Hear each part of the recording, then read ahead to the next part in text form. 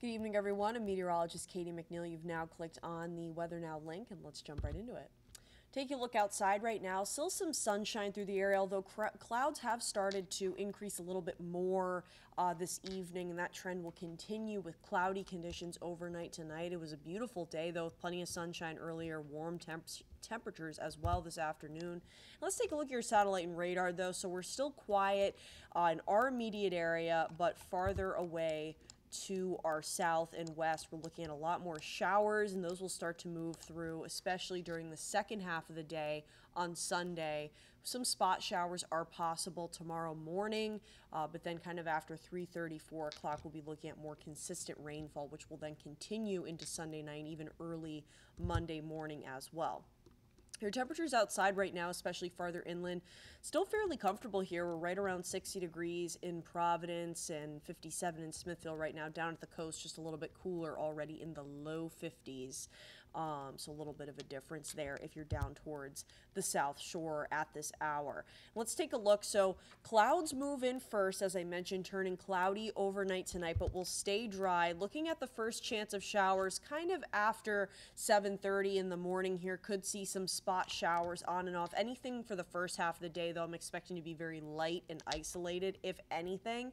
Uh, but then as we head towards the second half of the day, especially after 3.30, 4 o'clock, we're looking at those showers becoming a lot more widespread from our west and this trend will continue as we head towards the overnight. And as we head towards those overnight hours, kind of heading towards Monday morning here, could even see some downpours, even a rumble of thunder mixed in as well. Luckily, though, uh, any showers that linger on into the early morning hours on Monday were expected to be much drier for the rest of the day. So, won't be a whole day event on Monday, uh, but certainly tomorrow on Sunday, second half of the day through the overnight, we're looking at those showers be, becoming pretty consistent here.